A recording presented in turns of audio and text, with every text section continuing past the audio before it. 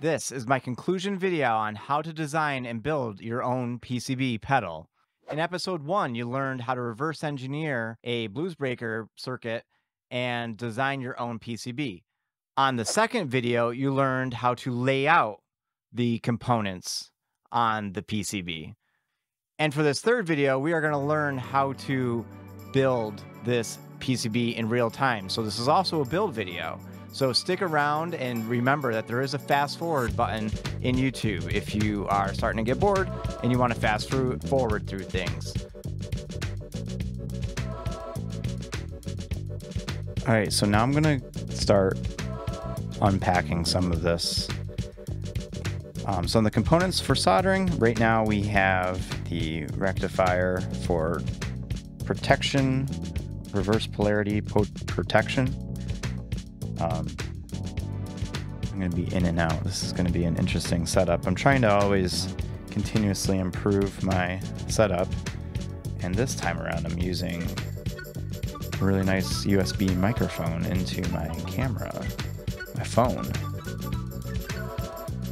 And then I also have my DualShock. So my photo over there, my video for two different shots, maybe even a picture in picture.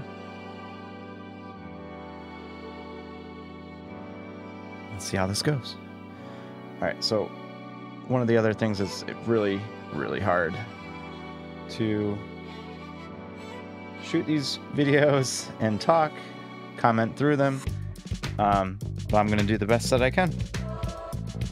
All right, so that's reverse polarity protection. Next up, we have our clipping diodes. These are just standard 1N914s. Pretty much all the components in this build are very standard.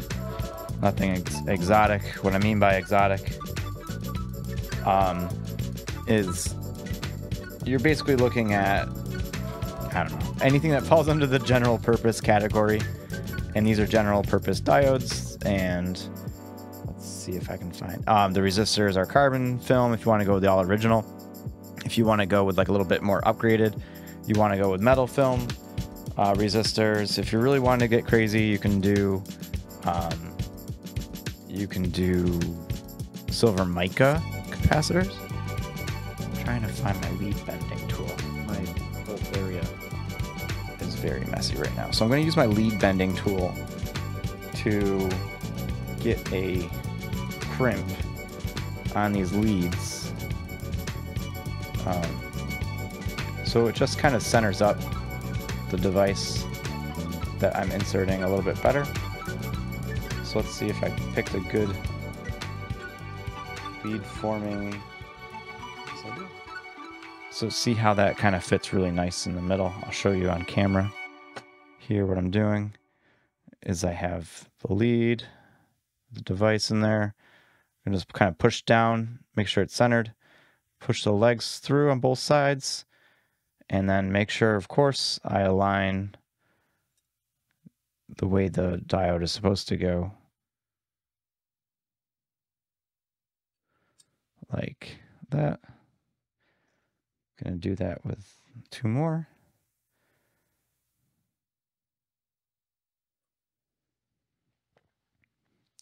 So while I'm building these, I'm, I'm gonna start, I think, doing more projects that are a little bit like C series, a few things, like a few episodes long, really not making any sense in this video at all. I'm talking through so for example, like I'm making a Dumble later right now. Um, there's a lot of design that kind of went in the background. I did that silently without really talking about it. I mean, I've posted a few pictures on Instagram, but it's not at all like on YouTube. And weirdly, I love watching videos on YouTube of people trying to do something new and then kind of learning with them through the process. And why I just haven't done those types of videos myself is beyond me. Um, but I think I'm going to start doing more of that. All right, so what do we got? We got MLCCs here. This one's 25 volt point one. I I did order two projects in this Mouser order. So I'm hoping these are what I need. Yep. Pretty sure. Yep. Okay. So yes, yes, yes, yes, yes. So 0.01, 25 volts MLCC.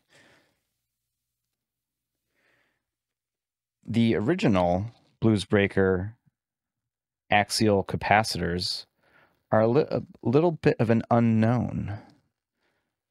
There's been a few people that have tried to find them, and none of them were in that they did find were in the correct value.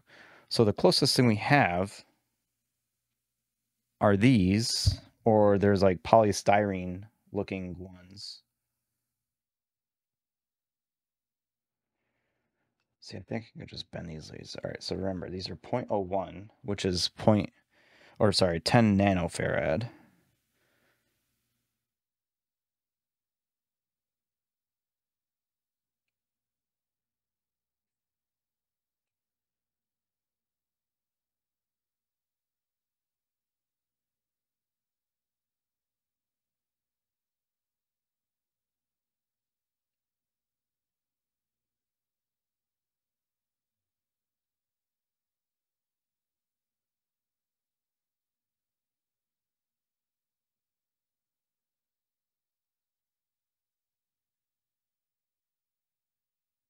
These are not polarized, so you don't have to worry about which way is plus, which way is negative.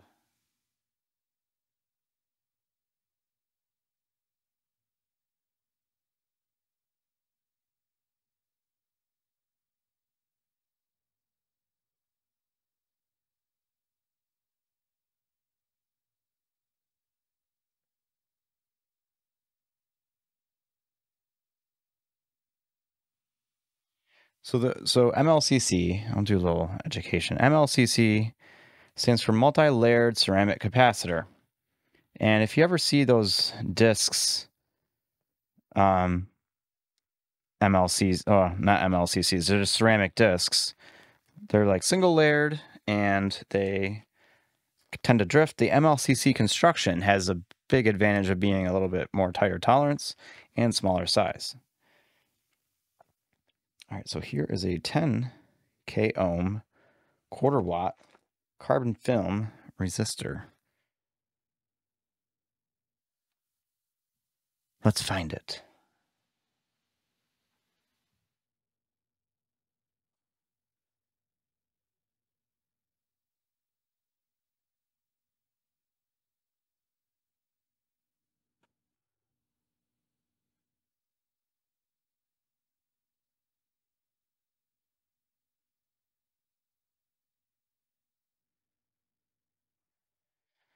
All right, we're looking good.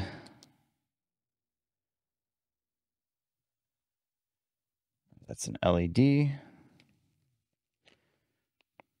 All right, looks like I got a lot of these ceramic capacitors. What did I get here?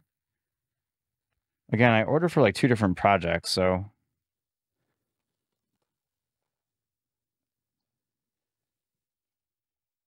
I think I was just auditioning different sizes. This is interesting. Look at this. It's very big. It's interesting. Hmm. I don't think they'll fit in that hole. So I'll just have to remind myself that the 100 volt version, maybe I don't use those. Give me one second here while I wrap this all up. Interesting.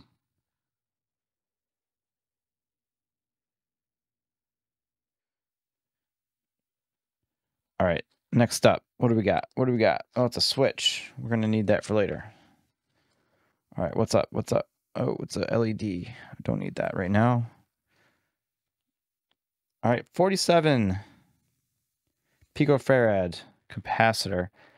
Now, I'm not going to install this one um, just yet, but 47 pico, the silver mica is kind of I don't know. We'll call it the premium boutique style choice in the circuit. It's very much reminiscent of what Vemuram would do.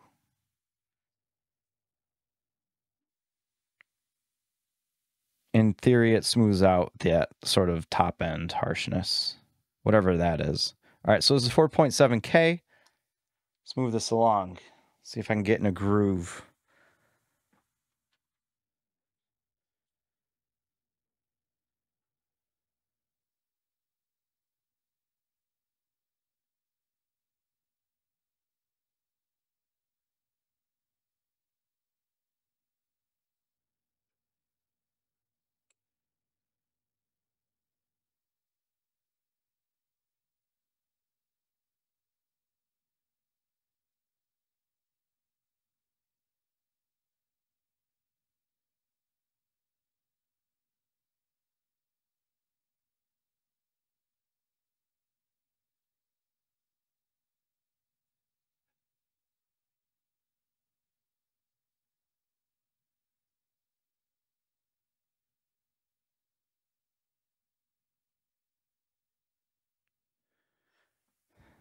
All right, 4.7K done. Get my floor organization. All right, what's next? Point one. So this is a hundred nanofarad. I have seen one, and that's where this one is going to go.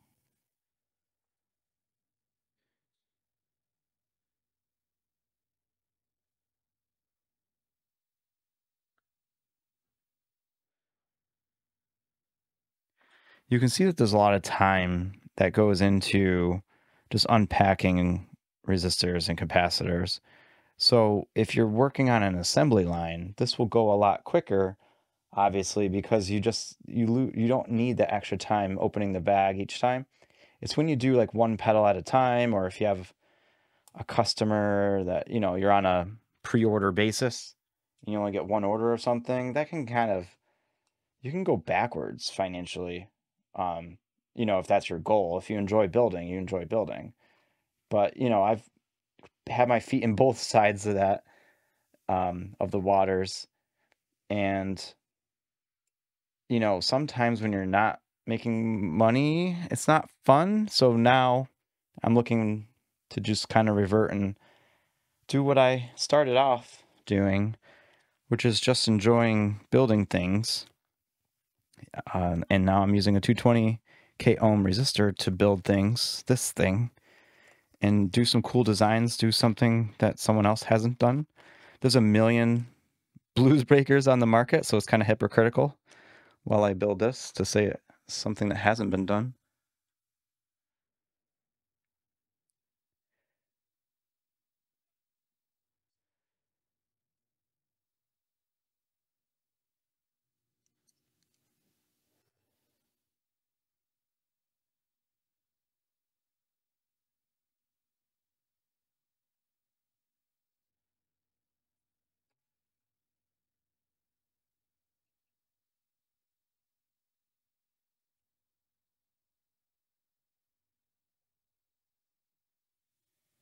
Okay, looking good. Moving along.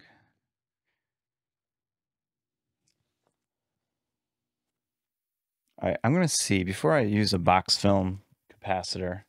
What I mean by box film, uh, it's one of these guys. Before I throw one of those down, I'm going to see what else I bought here. Let's try to find resistors stick with that one thing. Here's a 33K. So this is one of the resistors that we're going to be toggling between uh, when it comes to the Make 1 V1 and the Make 1 V2. Um, I know that I've kind of mentioned this before. I've never really found a real life example of a Make 1 V2. I don't know where in the internet world that popped up for the first time. I know I've seen it and it somehow caught on as as the one to model all the clones after.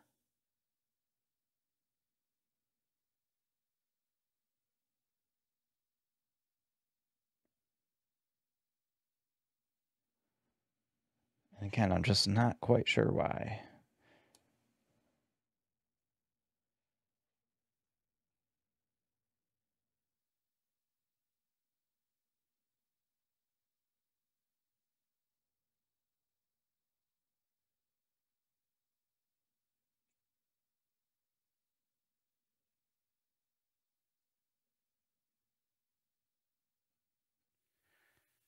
I think it's a good time now to just start soldering and cutting some of the leads. Uh, we're about, I don't know, halfway through populating this board. It's pretty quick, right? Um, so yeah, I'm gonna grab my soldering iron. I'm gonna clean off the tip here. I'm gonna grab my favorite solder. Whoa. Not sponsored by them at all. Just love this stuff. Um, I'm putting all of that in the description too, by the way. So if you're watching this video, click on the description and you should see some of these things. Just going to go ahead and solder um, all these things in a big rip.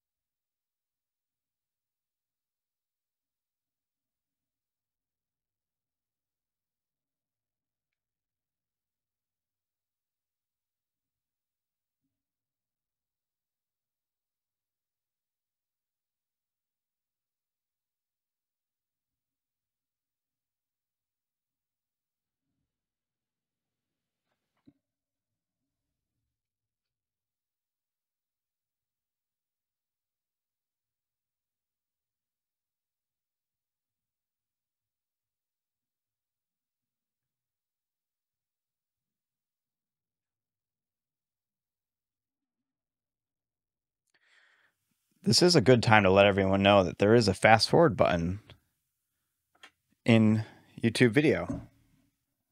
Just go in the settings and then playback settings and you will see the playback speed.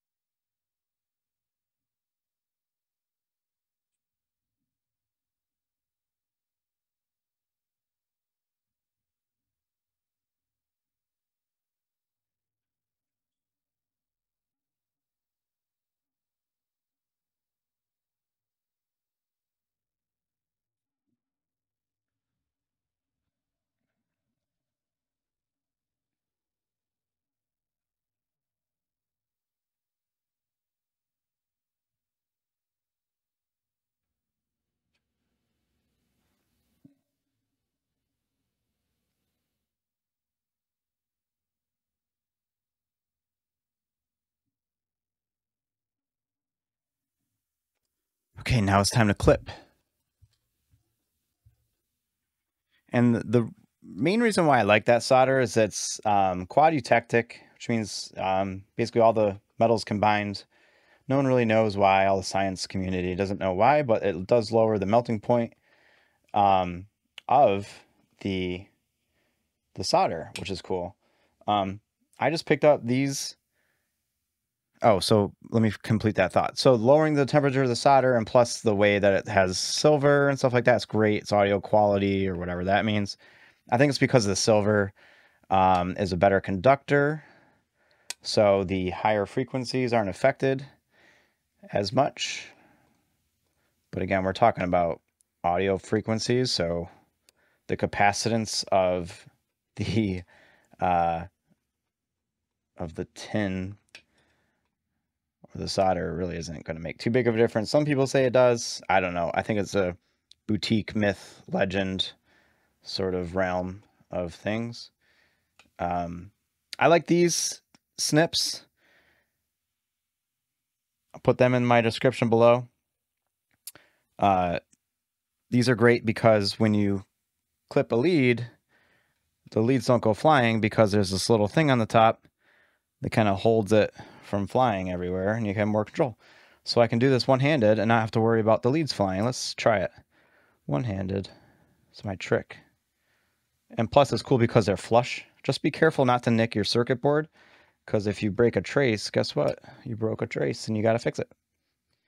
Not a bad learning thing, but if you can avoid it. So I'm going to try to like go a little bit at an angle. On the back side here, it's smooth so I have less of a chance of nicking it.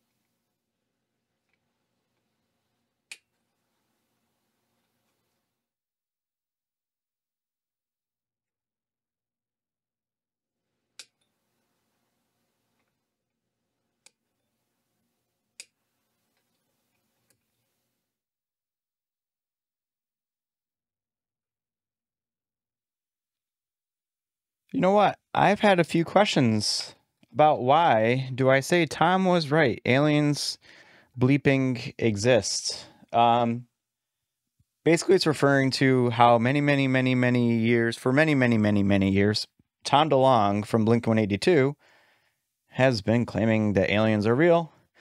We can always reference uh, Project Blue Book, which I believe was in the 50s, started in the 50s. Uh, U.S. government looking into aliens, basically the unexplainable, um, the original X Files, as some people say it.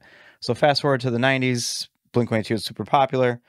Um, Tom was always big into aliens, which is kind of cool. Then became like kind of a cultural revolution uh, with Ancient Aliens later on, um, whistleblowers. Let's see what else can I throw in there.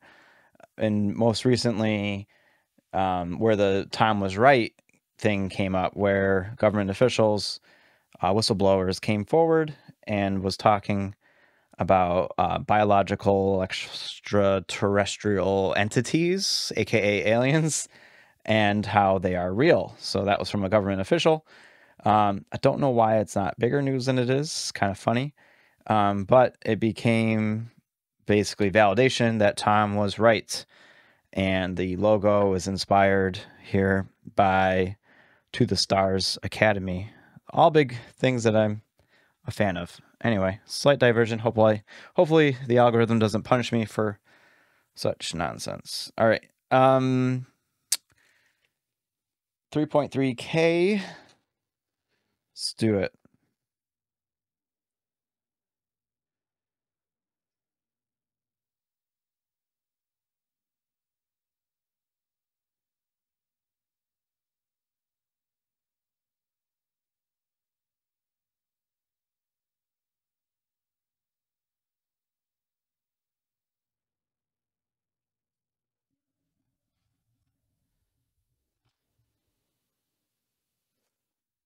All right. Next up. 10 picofarad. Yes. All right. So this is more or less in line. MLCC. 10 picofarad. Does it sound better? I don't know. I'm going to make two of these, I think. One with the ultimate boutique part selection. and then just one basically the way that the original was. The same like sort of build um build I don't know, ethos. Or just really probably the cheapest parts that were available at the time. Because there's something to be said about that.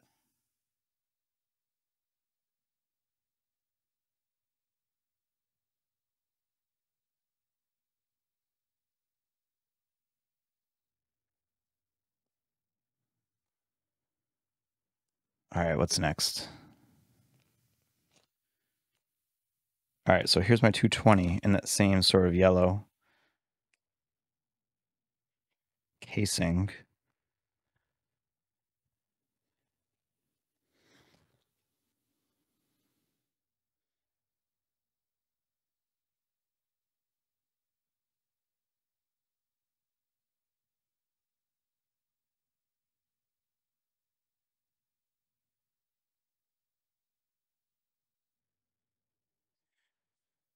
Okay, what else we got? Oh, here's my Mill-Max. Okay, so this is these are fun to solder. They're basically um, eight pin. Uh, well, they're Mill-Max, which is kind of the brand, but they're eight pin sockets for ICs. Highly recommend these, although there was a time where I didn't like them because I had an issue with one, but now I'm kind of back to the idea of buying good quality um, sockets. So soldering these can be a little tricky, and I'm going to just go ahead and just tack this one in place. Um, just be careful with your finger and don't leave it on there too long, and you'll be all right. But um, or one of the other things you can do, maybe I'll do that. I'll kind of demonstrate a more proper technique. Um, grab some needle nose pliers. I'm going to grab some lighter nose needle nose pliers. I'm going to bend one of the legs. Actually, two of the legs on opposite corners.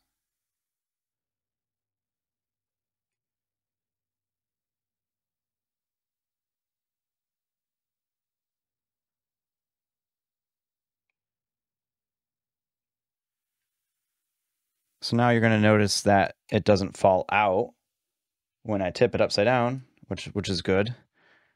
And I don't need to solder it right now, but that's held in place. You can see there's a little notch at the top, and that should match the notch at the top on the silk screen.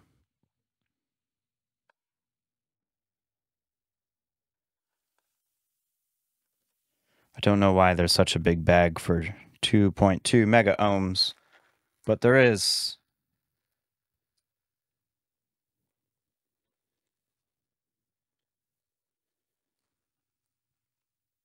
And there's only one of them.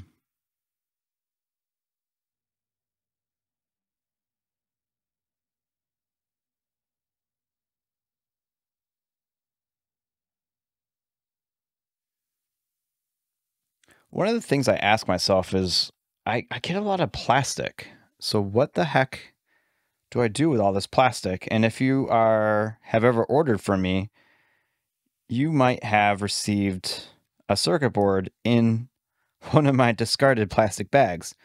It has to protect the circuit boards, the PCBs, um, and I can reuse it and feel good about myself reusing plastic instead of just throwing it out. Um, Mouser uses a lot of plastic. And I think it's just part of part of the industry. Um, so I'm going to do my best to slow down the impact on that. And if you notice, I started using cardboard, um, basically envelopes of sorts, and packaging material. So it can break down. Break down like me watching Monday Night Football last night. It's pretty awful. Anyway, I'm not much of a sports guy. That was a really big stretch. But I do have a 1K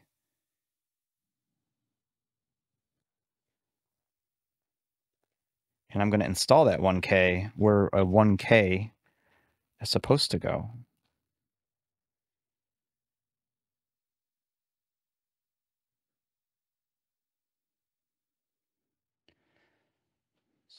my nifty little lead bender. Normally for prototypes, I don't make it so pretty, but now I've discovered that if I don't shoot a video, one of the first times I do a pedal or make a pedal, uh, there's a chance I'm not going to make it at all. So this helps me stay accountable for kind of what I'm trying to do on this YouTube page.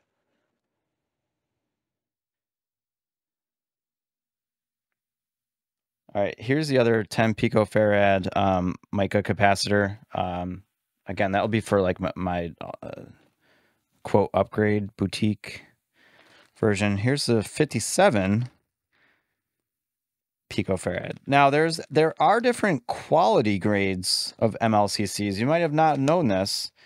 Um, X7R, I think, um, is most common because it's pretty good for audio stuff. Some people can tell the difference in the quality of the construction and the sound of the quality of the construction um, and basically the dielectric temperature stability. And C0G and NPO or NP0 are the most stable and linear throughout the temperature curve. So if you're on stage and your guitar is, or your pedal board is exposed to the sun and your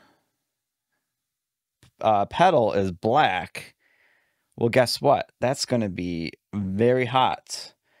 And that it might be a scenario where a lot of people talk about their fuzz faces needing to warm up. Um, guess what? That temperature dielectric stability is the reason for that. And it's getting into basically a capacitance um, that makes a difference in the sound. And it's basically a, a curve so if you have a fuzz face that sounds good at certain temperatures, you should measure what that um, capacitance is at that specific temperature and then grab a higher quality or, or less affected by temperature change capacitor and replace it with something super close and see if maybe you're you're getting cold, good cold results with your warm results. So um that's something that not a lot of people think about.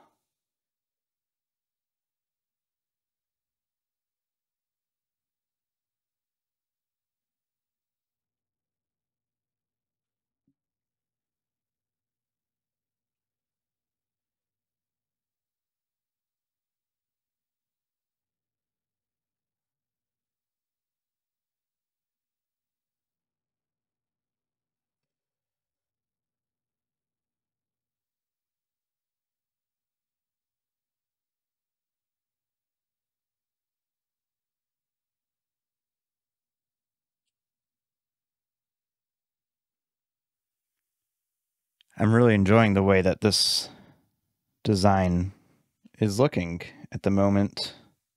Pretty clean. Seems to make sense. If something makes sense while standing still and doesn't need a lot of explanation, or just feels good looking at it, I don't know. I feel like that does make a difference. I'm very much into the scientific thing, but also um, some things, if they feel right, they feel right. And I think that's what music is all about. And that's what the 6.8K is all about. Quarter watt.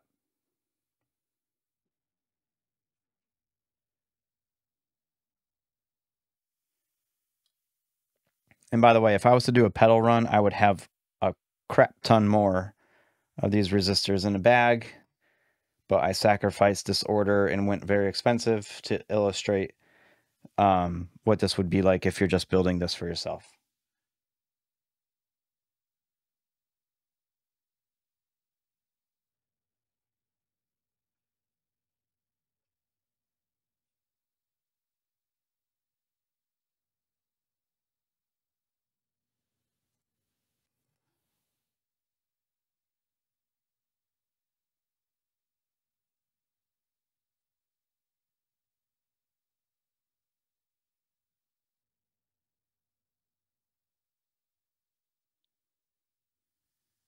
All right, two more resistors to go. Oh man, I pulled out an ML or a box film. All right, found one. 27k. It's one of you. Just get you where you belong.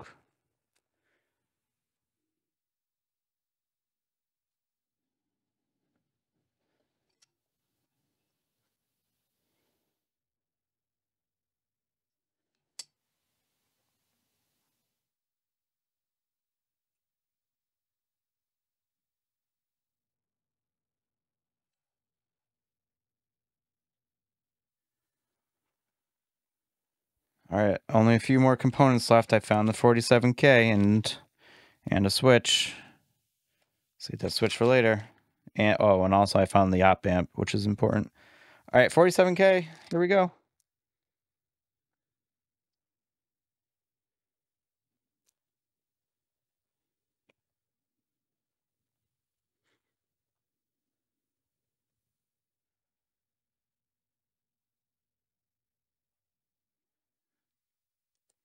There's two of them. There's a bag inside of a bag. Lots of plastic.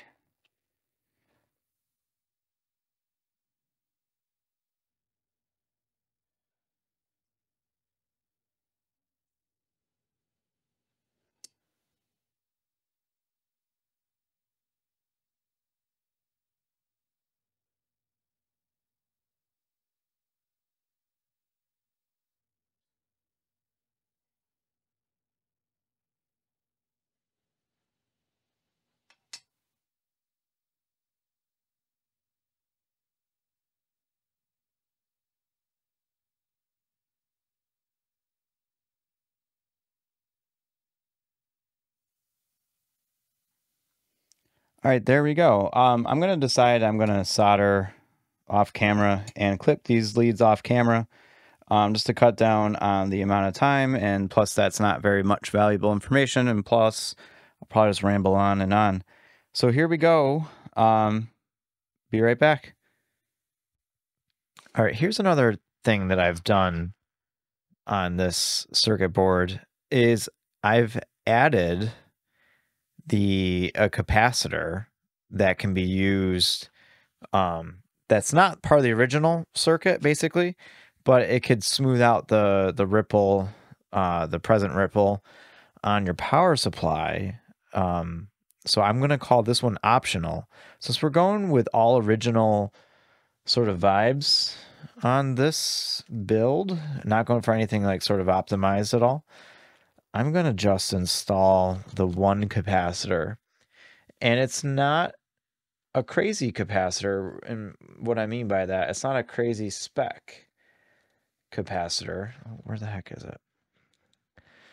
Um, meaning that it's not like solid polymer. You might hear me talk about solid poly polymer capacitors where it's super low ESR. And if you know anything, um, about circuits. ESR basically um, is equivalent series resistance, and the higher the ESR, the less perfect of a capacitor that is. So what I did was I really like these electrolytic capacitors, which have a little bit higher ESR and they are more true to the original um, sort of spec where they're wet electrolytics. So inside there's like some wet stuff.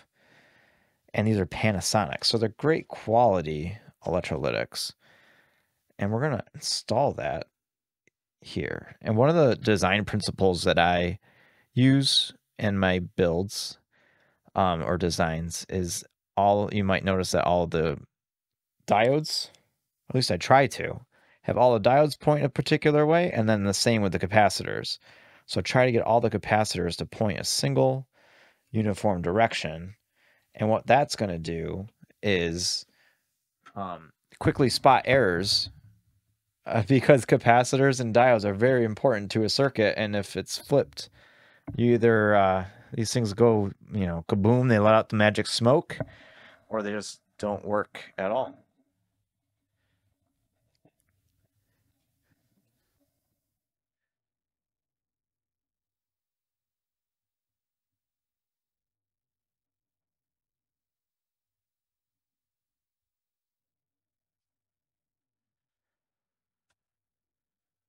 Okay.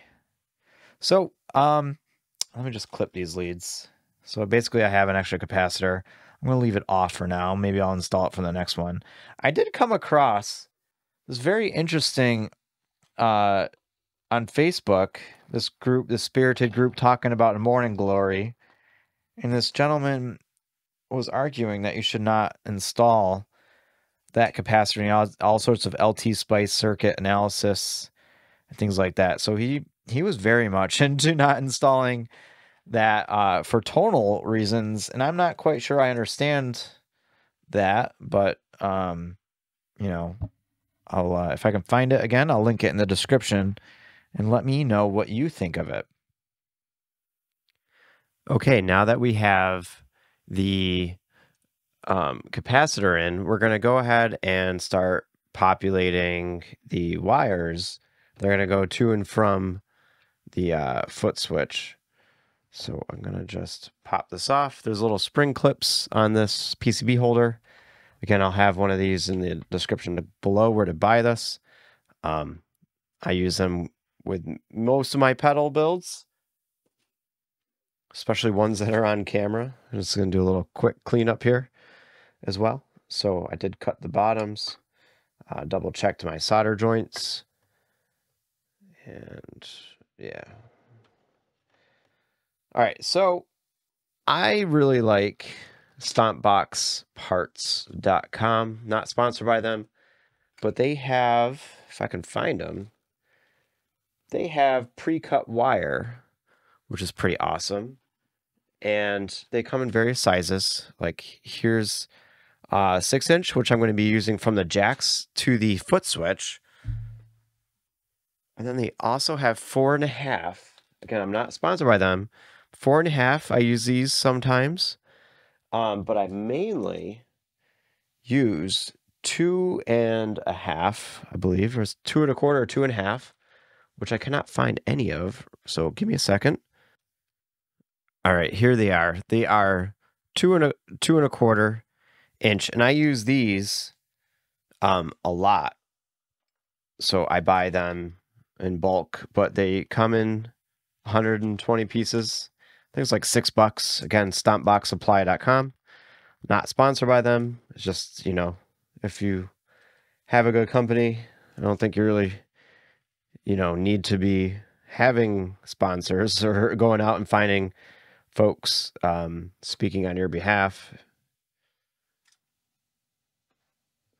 And this is one of the companies that I like to support.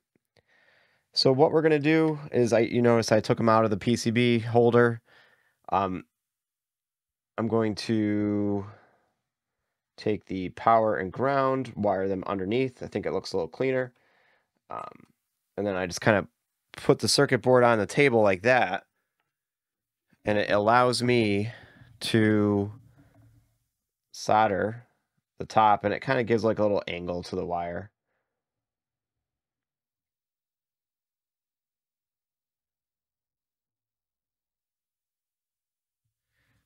You'll notice that the ground seems to take a little bit longer than the 9 volt, and that's because the ground is connected to a, a whole copper plane, which is grounded. So this, you know, solid you can kind of see here.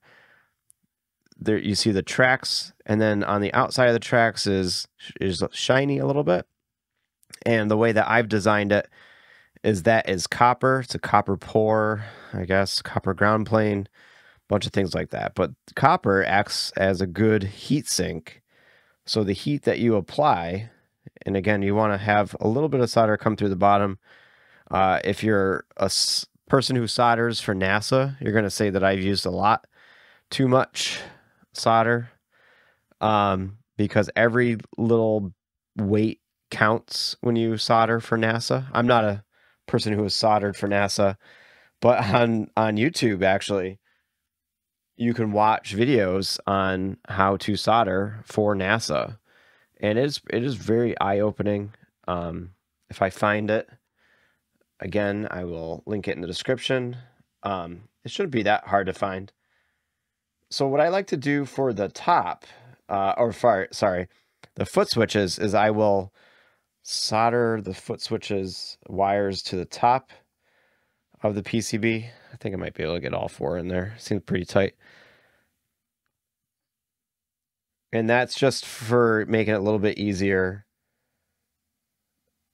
to wire to the switch. The foot switch, that is. And I don't have one right now, but I will have a wiring diagram included in the documentation for this pedal. So I'm just going to kind of get them all to have some sort of uh, pressure to the table.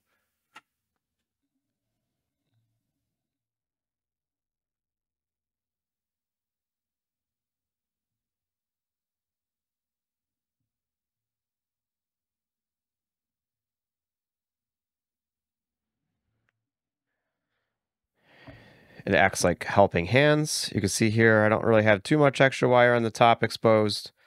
Um, I'm pretty happy with that.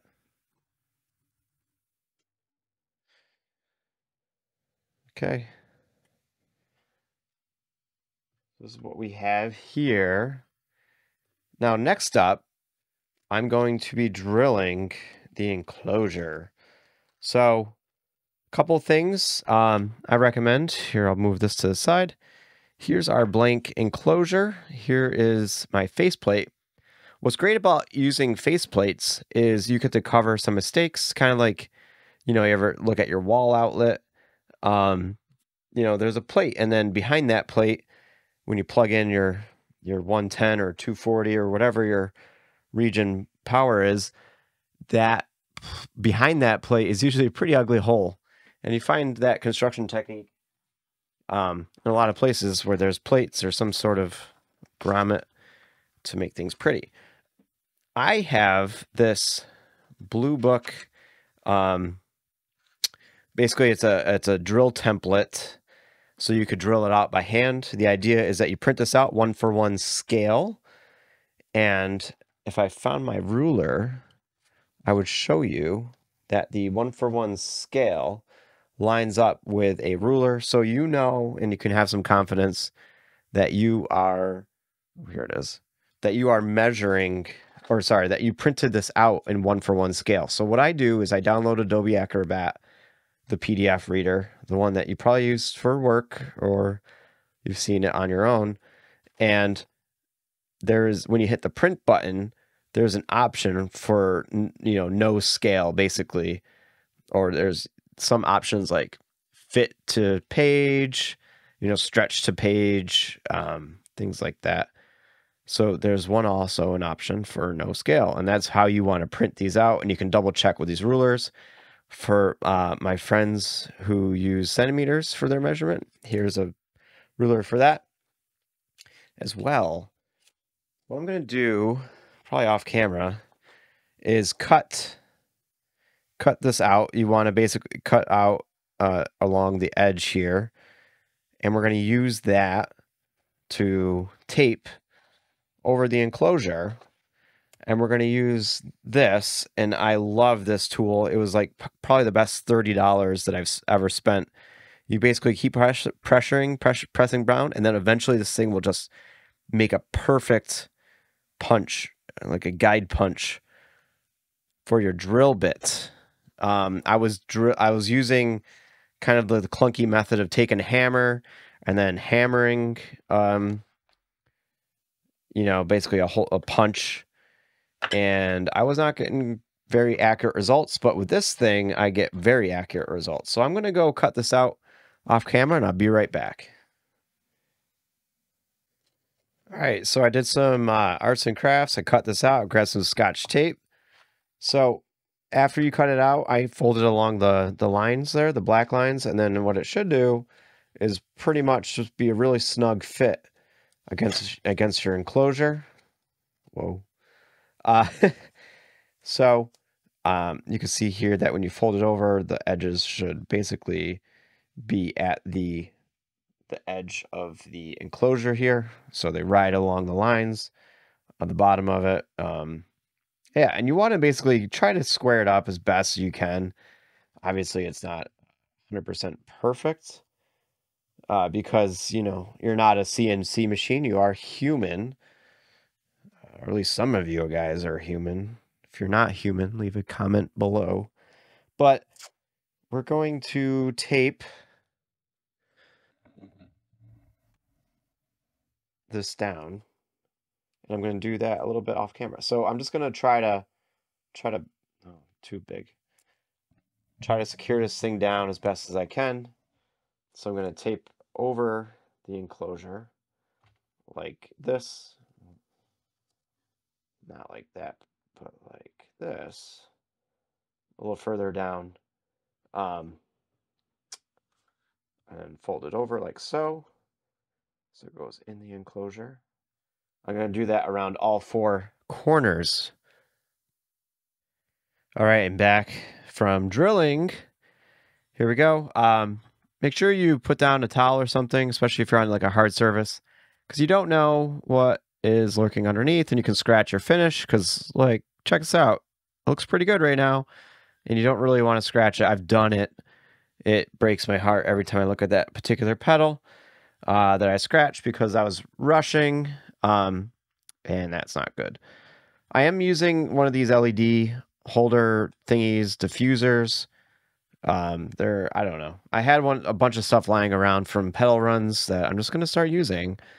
Um, one of the things that you're gonna find sometimes when you buy pots is these little tips on the end, and that's basically alignment holes or, or four alignment holes um, you want to discard them, take them off because they're gonna not they're gonna make your pot not lay flush against the enclosure. One thing you're going to notice is that you're going to have a hard time potentially finding uh, 22k linear resist uh, potentiometers. Wow, pots. Um, this is again, this is just a prototype to verify my build. So I'm going to use a 20k uh, W that I got from a tube screamer. It's not going to be the same sweep, but it's going to effectively have the uh, similar resistance, 22K B uh, linear. That's what the B stands for. And um, another thing on that is that I did find 22K uh, pots in this fashion with the right angle and everything uh, in the UK on eBay. So um, now that I started my camera up for the second half. So I did find those those potentiometers on eBay for 22k uh, from the UK. I'm gonna guess that that was related to maybe Marshall um, ordering a bunch for their pedals. So you can find them. You can get away with 25k, and you can get away with 20k. Um, but you ideally want to get the 22k if you're going to go for a perfect build, right? All right, so the next thing I like to do, and this is kind of, I don't know why more people don't do this, but I guess it only matters when you have certain, you know, perfected drilled enclosures that are symmetrical.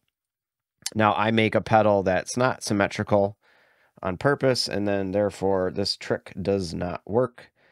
Um, so I'm going to just undo the hardware here. And again, double check that you have the 22K in the middle, uh, your A100s on the outside. For some reason, um, along the way, the pedal reverse engineers or so-called reverse engineers of pedals found uh, a linear 100k and i'm not sure where they got that from it's just again a lot of bad information being circulated about blues breakers. Um, I'm actually going to go ahead and do it like this. So I'm going to start off like this. Again, make sure you have your 22K in here. It's a little tricky getting it aligned the first time. And then I'm going to sort of go like that and then lay it down. One thing to just to be careful of, and maybe you could prop it up in the end, is you know I'm just going to take my little thing here. It seems to be about the right height, close enough. I'm just trying to get these flush and make sure they're square. Actually, that's not very good at all. But what we're aiming to do, I could tell you why we're doing this, is that it just makes aligning a little bit easier in the end. So I'm not going to tack them all right now. I'm just going to take the center, tack that in. You do not, you know, do a final glob of solder. Just do the bare minimum just to hold them in place. Oh no. Because what we're aiming for is to do the install um, and not have them kind of flop around or fall out or anything like that. So now you can double check your work, make sure you have that stuff. But I'm going to actually set it to the side right now because the first thing we do when we're assembling this enclosure is the power adapter and make sure the long leg is on the right. The long leg is for the 9 volt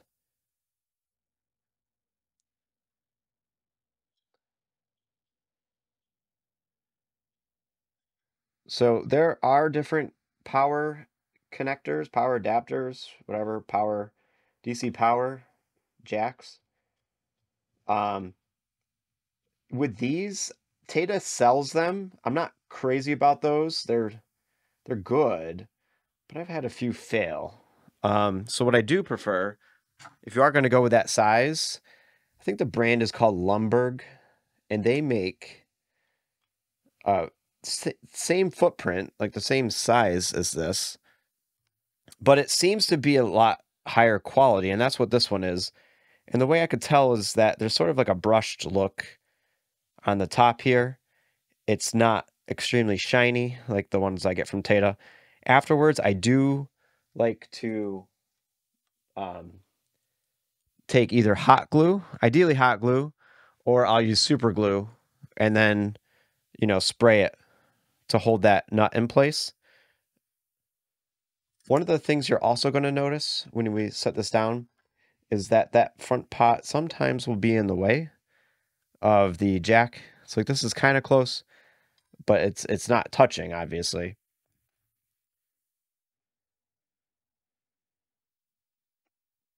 Oh, let me let me show you this real quick too. So I like to bend the leg. It's what I'm going with that the positive leg. So this, I guess this one would work. It looks like it would not interfere too much. It's it's close, but it shouldn't be too bad. Well, actually, let's see. Once I lock that down, it's going to be in that position. Yeah, that's that's a little close. It does look like you might have to bend the leads. So that small power jack here is probably preferred.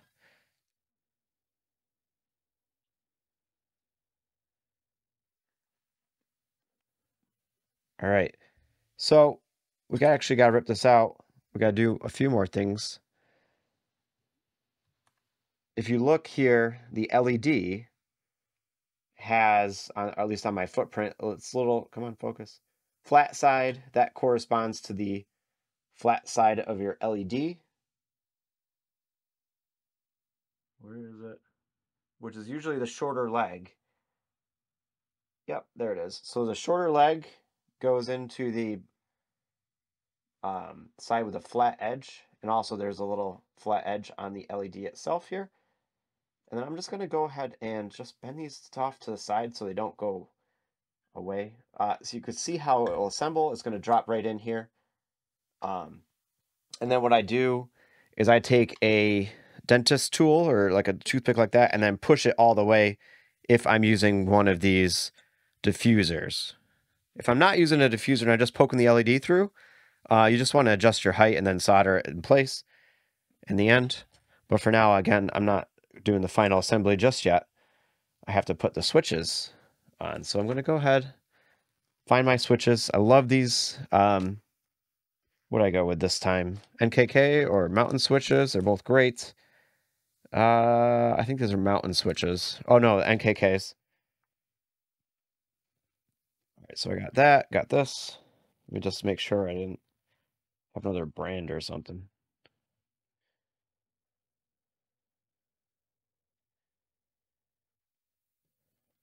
All right. So we're going to open these up. Again, lots and lots of plastic.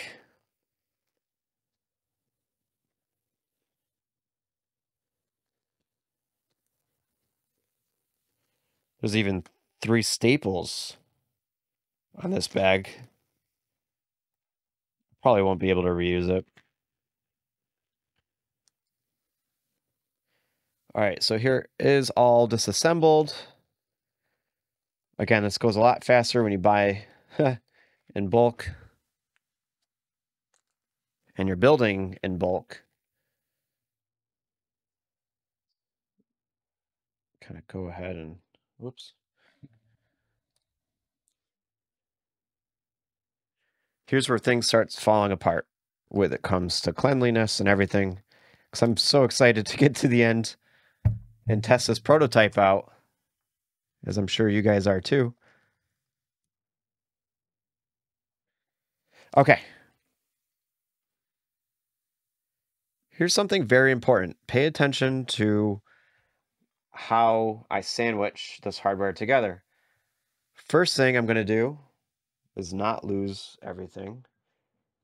Where'd it go? Please just be underneath. Okay. Yeah. First thing I'm going to do, oh no, I dropped it in there, is add a nut.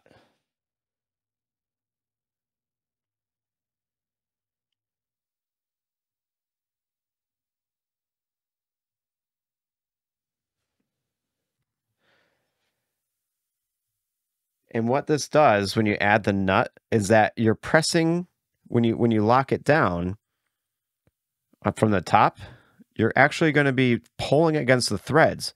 You do not want to be pushing against the body because that body and these threads are actually just pressed fit together. And if you start, um, you know, securing down your, the, like the final pull, or sorry, ah, the final assembly at the top, you could run the risk of separating the body from the threads, and then that makes not good things happen. All right. Secondly, you're going to notice that I put the lock washer down next, or the, the tooth. And then what I like to do is I like to find the keyhole. So there's the keyhole and place that down like so.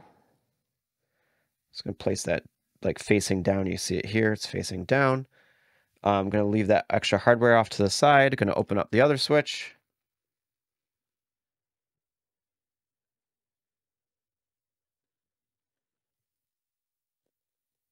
The footprint we used are good for uh, PCB pins as well as solder pins. So sometimes it's easier to find one type of switch uh, type over the other. So like this is a solder connection you can see from the hole. It's good for like wires. You could put wire through it. I do not use these. These are the ones with the little lock washer on the top. Um, I just don't. So again, following the same procedure, I'm gonna first put down the wash or uh, the the nut.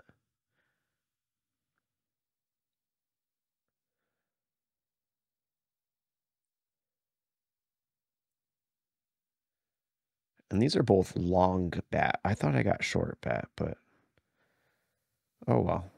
At least they're both uh, the same, I guess. Long bat meaning you can see here that the switch, the bat, so to say, it looks like a bat for a baseball, goes really far.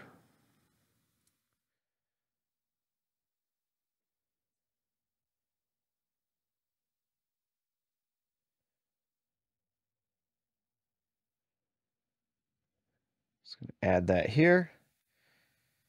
All right, now comes the fun part of getting it all to marry up.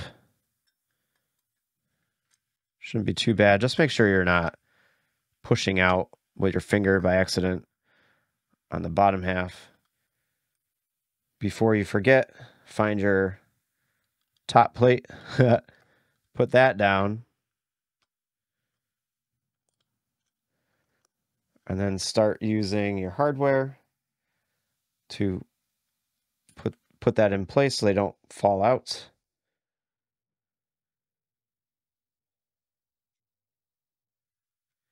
Sometimes your um, the nuts will be smoother on one side and kind of flat on the other.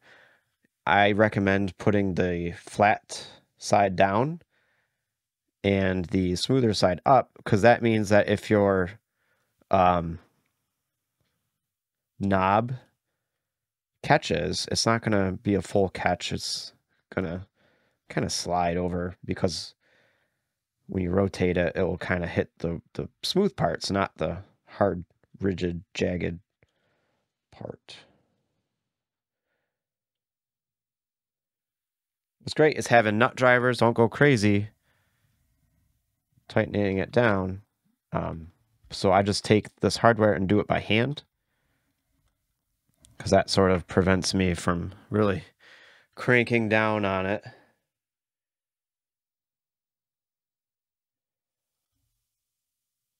All right, so you kind of get the gist. I'm going to do that all off camera here. My back's starting to hurt from standing in this weird position.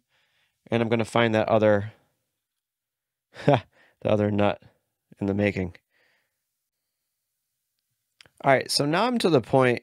So I just did the top here, and you notice that it kind of feels like there's a lot of pressure on the circuit board. So I can't really, I, I'm not going to tighten these down just yet. What I am going to do is very carefully go through, grab my grab, grab your soldering iron, and then this is what I was going to do eventually, even if I didn't have that problem before. Is I'm just going to very gently push down on the circuit board, and you can hear these pop. And what that's basically doing, and this is why I do it, is that we are reseating the solder joints onto these pots. The big thing that you are, are doing here is that you're preventing the the legs when you tighten the top down, the body down, you're preventing the legs from warping the wafer disc, the actual resistance of the pot. And that's bad because then you'll get these weird sort of things where if you turn your volume knob, you might hear it go woof, woof, woof. You hear that woofing. Um, that's basically the wafer not getting a great contact. Uh, you can get oscillation. You can get all sorts of bad things.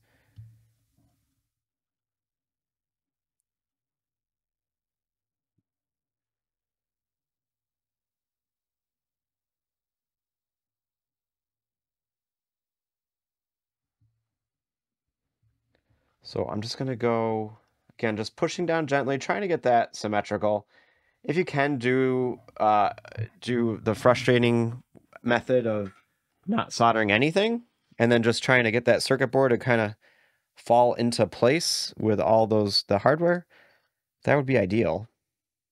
But you know, I'm just trying to give you some ideas. It's not the straightest. And that might actually be because of the body. Actually, that's why.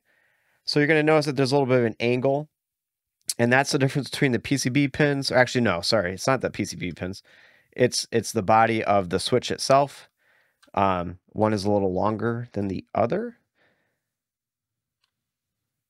so it's kind of cocking that a little bit, and then you can see the size of the switches are a little little different. Not too bad.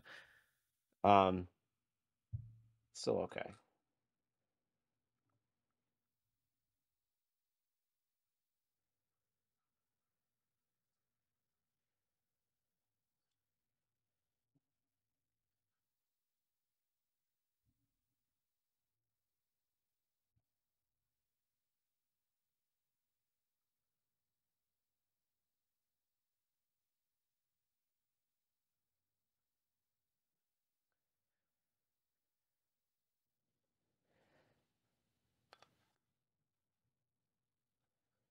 Again, you don't, don't want to go too crazy. All right, now I'm going to do a test.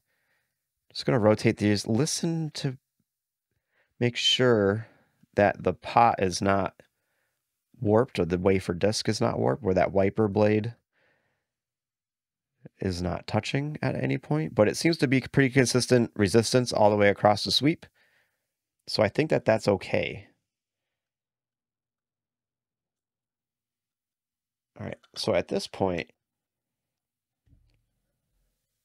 I'm just going to double check things. And additionally, I'm going to actually take my little toothpick here, or a dentist tool, and then push that LED down into the cavity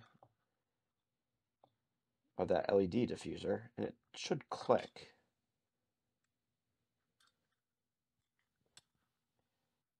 Yep, there it goes.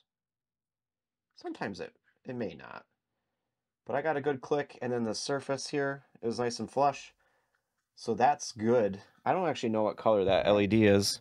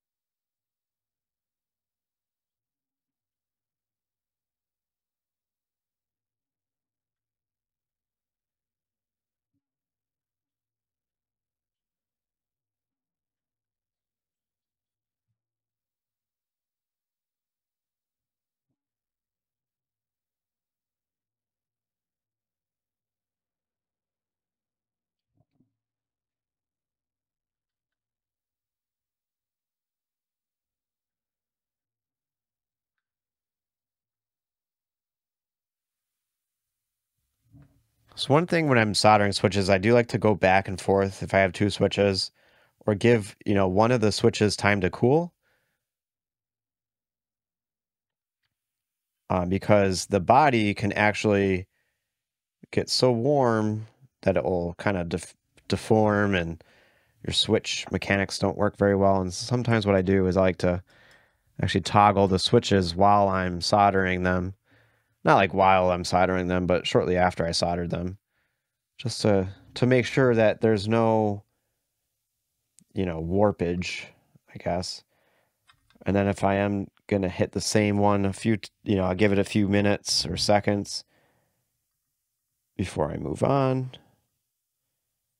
That's one of the other nice things about using this particular solder is that it's lower temperature than my other solder I used to use, like the 6040 lead the Kester 6040, the stuff that everyone else uses. Um, that requires higher temperature to melt. All right, so I did get a warning that my phone is overheating. So at this point, what I'm going to do is cut the leads or clip the leads. I'll do that here. Uh, have some breakfast because it is four, or five something in the morning. And then I'll be back to finish this up and we get to hear if we did a good job building this thing from scratch. All right, this is when things get really fun. Like I'm circling the final bits of this pedal. Um, this is one of my favorite. Actually, my very first build was a Blues Breaker, so I'm excited that this is a project that I am going for. All right, so next up, I'm going to just get the foot switch going here. Um, I'll show you something that I do. So again, we can use this as a temp as a little holding jig. I'm going to use the keyhole, face that downward, and I'm going to make this uh, True bypass. Let's do it. The original was not really true bypass. It just toggled the output um, between the effects and the bypass, I guess, which was just tying in the, the input to the output. But it always had the input uh, going into the pedal. So some people don't see that as a true bypass. And what I'm looking for now is my resistors. I have a bunch of zero ohm resistors. There they are. So these are zero ohm resistors. I get them from Tayda in a lot quantity. Um, zero ohm, uh, there, there's just basically a conductor. And you can you can use like a clipped lead to do what I'm about to do. Um, but you don't have to. You can use one of these. And the reason why I like to use these is it's just a little cleaner. And it's not really that important.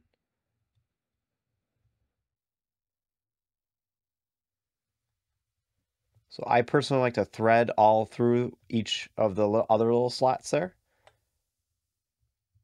I'm going to leave a little space just in case I want to um, ground the input in bypass mode, which some people um, like that approach of bypass wiring to uh, basically just ground the input to the pedal. So when you're not using it, the signal is being grounded. And some people say that that will be quieter.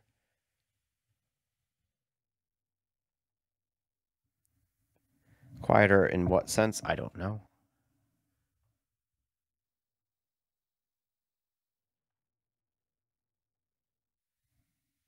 Because sometimes you can get weird things on like the power when you have um, pedals that are are on. Sometimes the noise can feed back into the power supply. Uh, I don't think I've ever really had that happen. Or there could just be a noise resonating on there, getting bleeding into the signal um, of the wires going into the pedal itself, like physically through the pedal. You know, some crosstalk. Again, I don't know if I've ever seen that. I'm not going to be grounding that input just yet because I can always um, just connect the input of the pedal to the input of the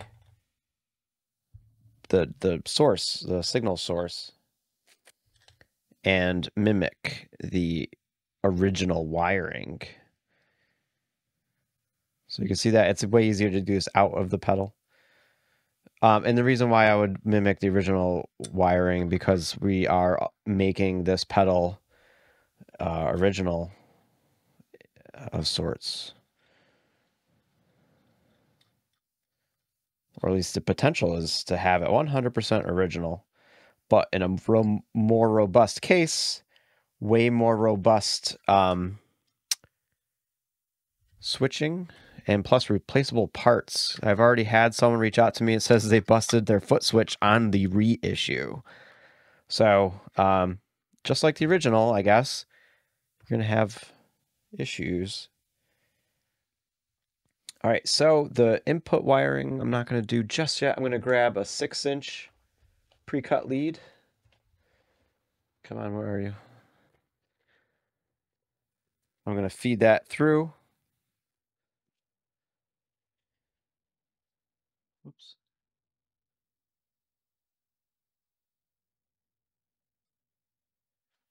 Just basically taking off the, the little shield.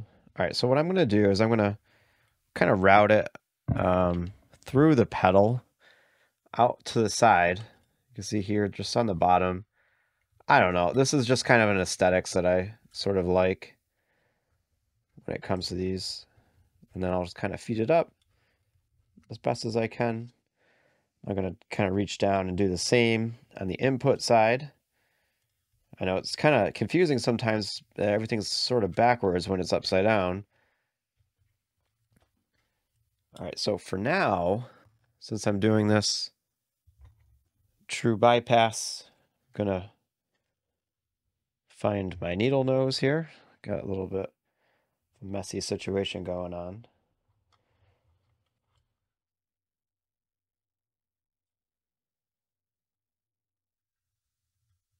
Let's going to bend the wire forward. Feed that up through. I personally like to twist it around to give a good solid mechanical connection. Um, one of the, uh, I think it was the Air Force training videos that was released on YouTube.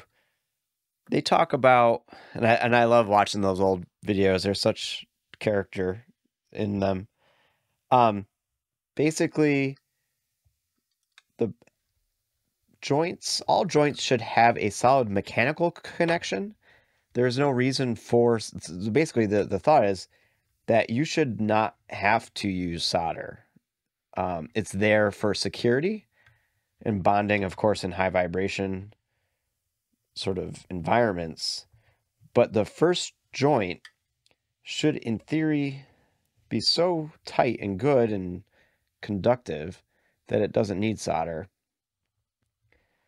Um, so you're not, you know, filling any air gaps or anything like that. You want to have a good solid mechanical connection before you add solder to it.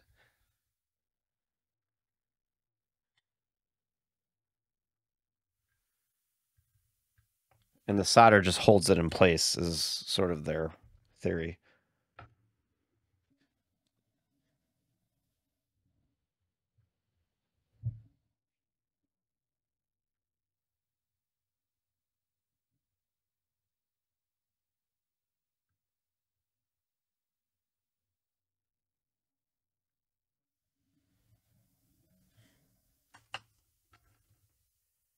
Let's talk a little bit about foot switches uh, for a second. Not all foot switches are equal. This is a low force um, Stompbox Pro or uh, Stompbox Parts Pro. Um, what they've done is that this is actually high temperature uh, epoxy on the foot switch itself, so it can take some heat for you know any sort of wave soldering irons and things like that. So I like these switches. They're low force. Again, if you get like an alpha pot, you go like those are or uh, sorry alpha stomp switches. Those go clunk, clunk, clunk, very heavy. Um, I've come to really like and appreciate the lighter force switches, and plus these have never failed on me to date. So I'm feeling pretty good about it. Could be a little bit of the high temperature epoxy. Um, I'm not too crazy about the standard foot switches that I get from Tayda the non-alpha brand. Um, they're kind of like bluish. Those are weird. You cannot use these. They're very expensive. These are it's it's a Lely. Uh, it's just a momentary switch. Those are for a whole different application. The Gorva switches are really good. So shout out to Gorva. The, these and Gorva feel exactly the same as far as like the click force. All right, so let's just keep down here. I am going to kind of weave the front uh, where it says in over to the in here and do the same sort of folding over mechanical connection bond thingy.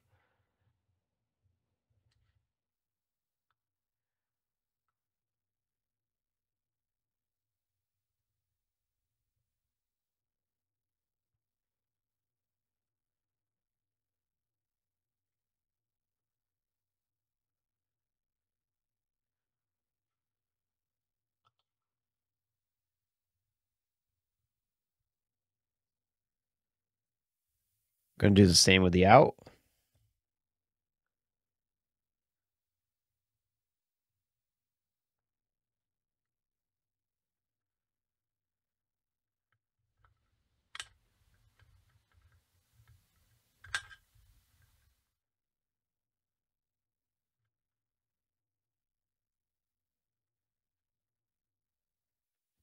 And you could kind of do what you want as far as wire management to to make these as nice or whatever as you'd like. I kind of just push them off to the side. I don't know, maybe I'll loop it back up towards the front. Maybe I'll just leave it towards the back. Um, and the reason for that is I just don't want these wires to get crosstalk and, you know, pick up something in the in the circuit and that does happen. Um, that happened to me with the Aquapus boards or Poos, Aquapus boards, or my low mark. Basically, all it was, luckily, was a simple, you know, how far I placed the wires close to the clock um, for the MN3005 chip, the delay chip, that is within the audible range. So with uh, when you put a wire close to that area of the of the circuit board, it does pick up that audible uh, clock noise, which isn't good. So I'm just going to kind of weave this up and back and around up to the front. The ground is going to go in the center here. And one of the reasons for that is if you do the wiring method where you ground the input, you need that ground uh, when, the, when you ground the input when the pedal is in bypass mode. You need the ground to be right here. So the connection is jumpered. Right now, again, I'm not doing that jumpered connection to ground yet. Um, you know, as I evolve the circuit, I kind of wanted to go close to the original as I can with this one.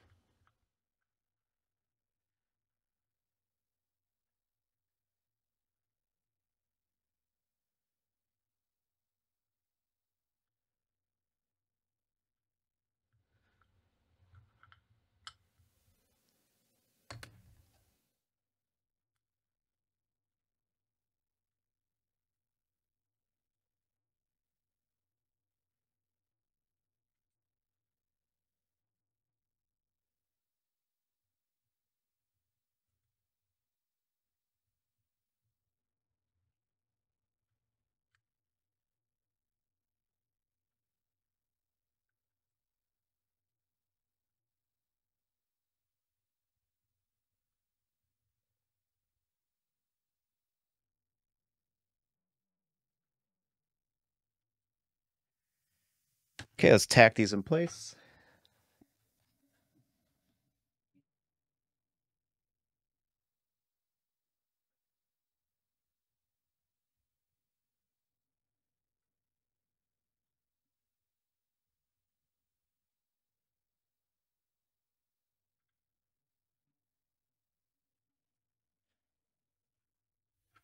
Okay, so very simply, if I wanted to go back and forth between the very, very original, which is just selecting the output, um, all I have to do is simply put a jumper, a wire between the input and that middle, input to the pedal and the input from the jack.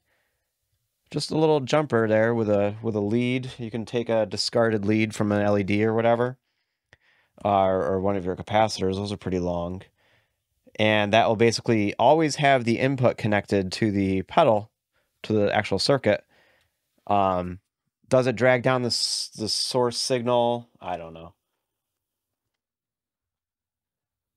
All right next up wherever it is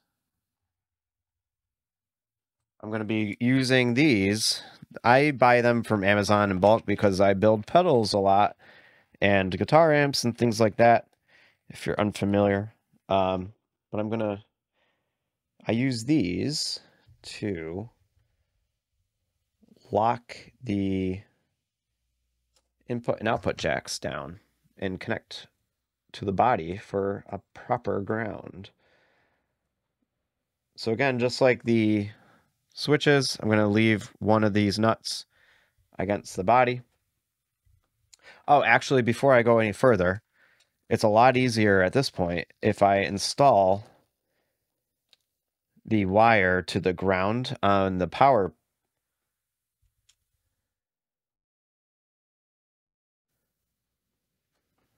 Let's see if I can zoom in on this part. I'll try to keep zoomed in. All right, so I'm just gonna kind of do one of these. It's a little tricky. I'll show you what I do afterwards. I just basically clip the lead after. So I got the, the wire going through the hole. Solid mechanical connection, I guess.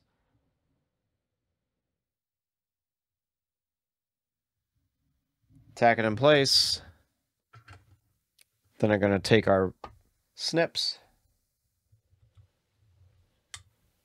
Try not to go too hot or too long with your soldering iron because you don't want to break or, or melt that um, power connector. All right, so notice that's going to be separate. We're going to do the star grounding method where you go to a single common point on the jack to ground everything together. Um, for the 9 volt, I'm going to simply just grab using my pliers again and weave it into the input. And I like to tuck the wire down in this. It just kind of makes it clean.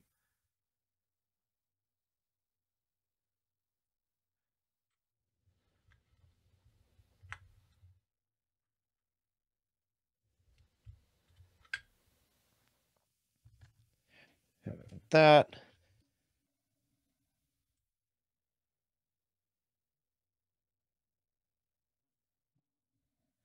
Cool.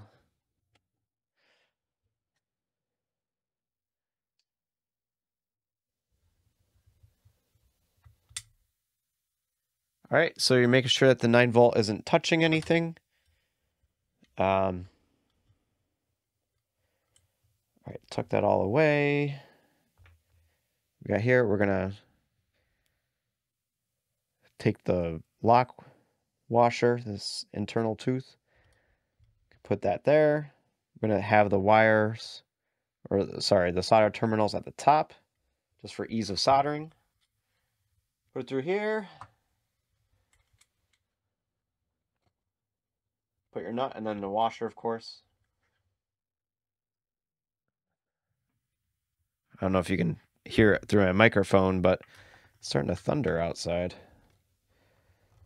All right, so here's where I do use a nut driver because I like to crank down. And it's funny because I have people comment about my pedals that I build um the and and sell and they all say the same thing like wow for whatever reason connecting to your pedal feels so tight and robust and just solid and i think it has a lot to just cranking down you know relatively on that jack and also that lock washer. You see a lot of builders not use that lock washer. Um, sometimes they don't on purpose. They try to um, have a ground isolation. So that means they don't want ground there. So they use like rubber. Uh, sorry, not rubber, but they use like a fiber board or they use plastic jacks. And cranking down on plastic jacks is not good. Okay, so connecting to these is such you kind of look at the wafer the wafers here and you see the inner wafer the uh, wafer that's little bit more on the outside i guess is connecting to the uh, shield or the ground of the jack so if i put a jack here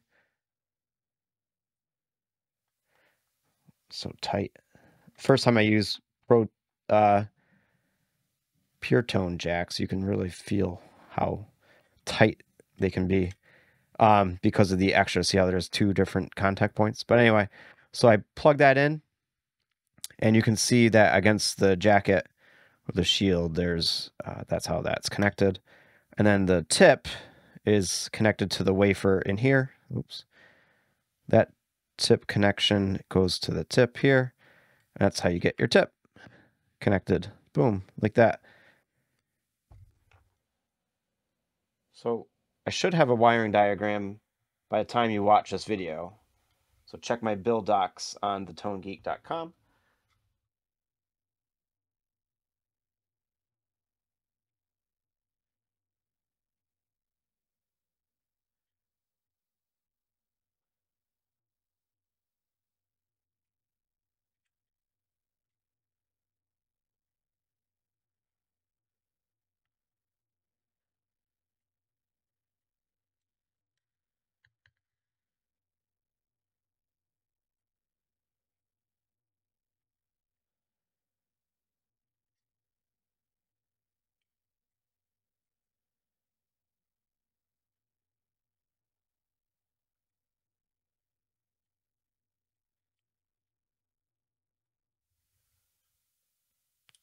Definitely not my best work, uh, especially with a camera in front of my face.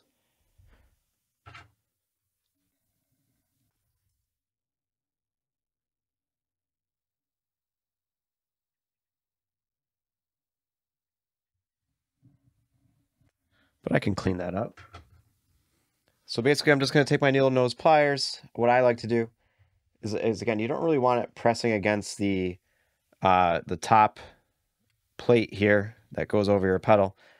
But I, so I'm just going to have it um, push that down, make sure it's not rising above where it's going to touch that top. And then the wire just kind of runs down the bottom channel here, trying to stay away from all the electronics, being close to the uh, metal or the aluminum enclosure for noise suppression, blah, blah, blah, crosstalk, per, um, avoidance. All right, so now that's your output jack, your input jack. Obviously, it's on the same exact side, so we got to cross the wire up into over here.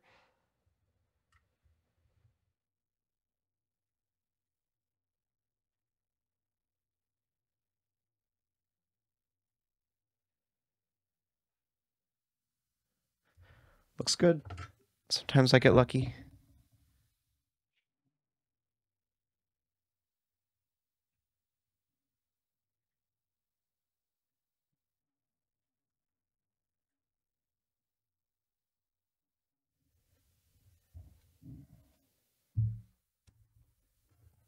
All right, so here's a little bit of a tricky part. What I like to do.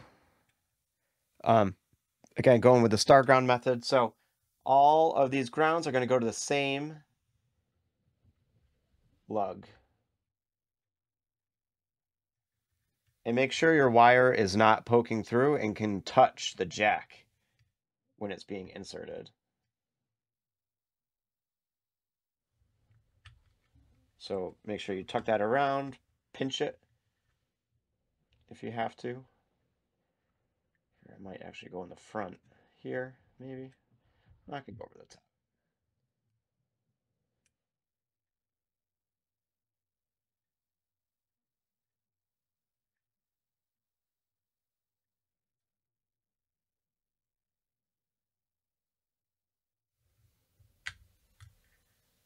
All right, now we're going to use one more.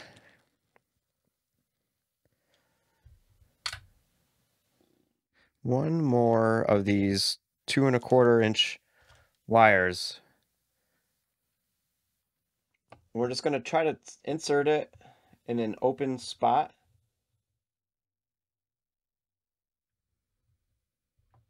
All right, like that. All right. This, you know, this last one is kind of optional, but you'll see why.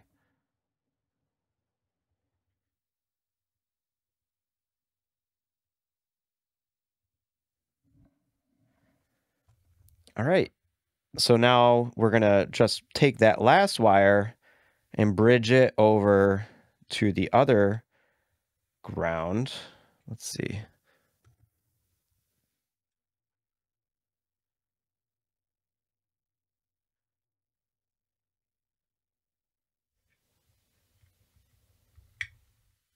Now I know technically, since I'm using a star washer against the chassis or the, the pedal enclosure that is aluminum and conductive, that that should have its own conduct uh, conductivity, thus connecting them together via ground and, and stuff like that. They have the same potential, blah blah blah. Um, that's okay. What I like to do is just add a wire because if for whatever reason, if if you know there's too much powder coat or it's just not something's not right there, or even through the uh, washer for whatever reason, um, it's got some ohmage, some resistance in there. It's not a, a it's clean, clean, clean connection, which is another reason why I really twist down on uh, using the nut driver. Uh, that could cause uh, some noise. So I like to just add that, and it doesn't make a ground loop. You hear about ground loops. It's so close, um, and that's not going to create a ground loop. So again, the ground is connected up to this point. The ground of the circuit board is all connected to this point. Uh, everything kind of comes back to this point here, uh, which is where the star ground method uh, comes from, I guess and it should be a lot quieter. So now the next thing I got to do is find my op amp. Here it is. No, it's not.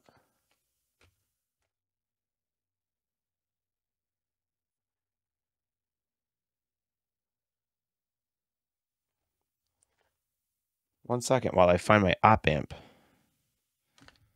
All right, here it is. TL072. Hopefully I got the right package. Comes in a lot of static proofing crud. Uh, basically because they're electrostatically sensitive, I should have a grounding strap attached to me when I open this. All right, here's the op amp. Um, pretend like I have a grounding strap attached to me, so I'm not going to have any static electricity from me to the op amp, thus destroying it. Put that away. Uh, you'll notice that it's not easy to fit in here.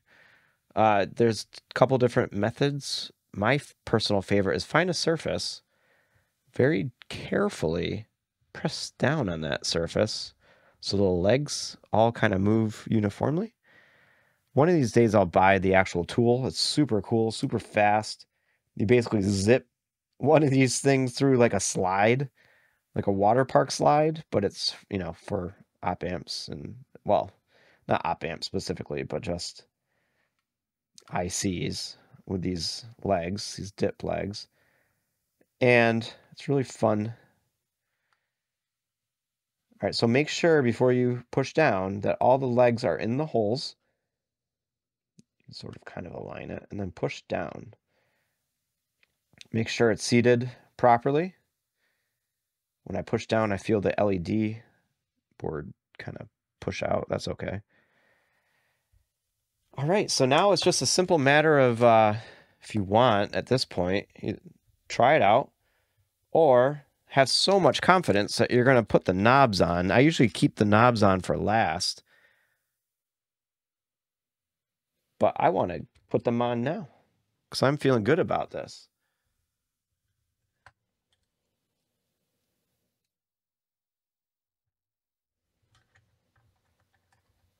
So what I like to do is I like to turn my knobs all the way down, you know, roughly get that uh, whatever degree angle that is and then tighten.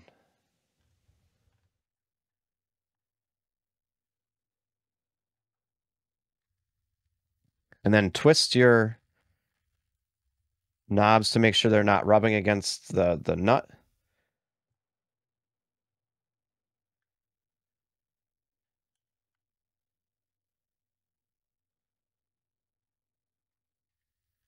I'm just using a flat head screwdriver here.